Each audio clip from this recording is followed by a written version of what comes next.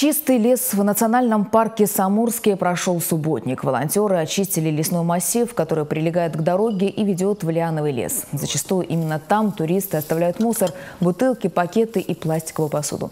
Всего было собрано около 100 мешков отходов. Сделать чище хотя бы небольшой участок леса, и э, это в наших силах. И если каждый из нас будет соблюдать э, общепринятые нормы чистоты, да, и выносить после отдыха за собой этот кулечек мусора, э, мы не потеряем такой удивительный, уникальный, единственный в России субтропический лес.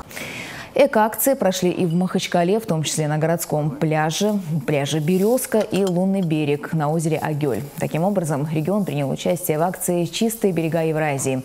Субботник прошел в Ильтавском лесу, откуда волонтеры вывезли несколько машин мусора.